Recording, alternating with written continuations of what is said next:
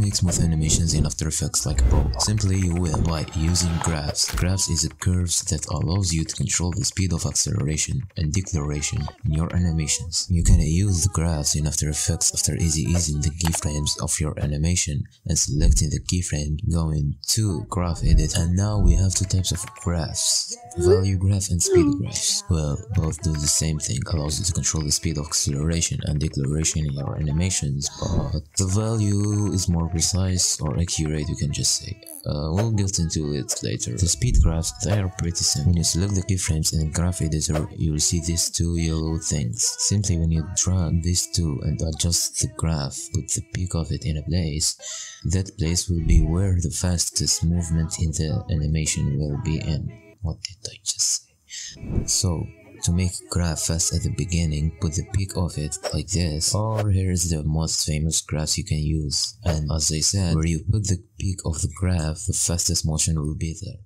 I know with my heart that it's my turn, and I already see the possibilities are never ending.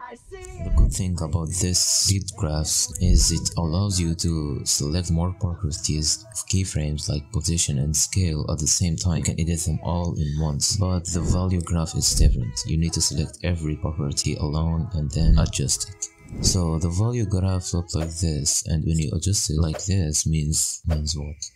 Means the animation will start faster and get slower. And when you adjust it the opposite will get slower and go faster. And the speed of the graph we need to get slower or faster. It determines by how sharper or closer the graph to the corner of this. I don't know how to explain this more but i hope you understand. It's pretty simple. Now i will give you something that will help you a lot while dealing with graphs and this bullshit. So it's a script you can download. It allows you to make graphs easily and apply them to your keyframes or even copy graphs from your animation, paste it to another animation or even save it for later so you don't need to make the same graph that you want every time you make animation.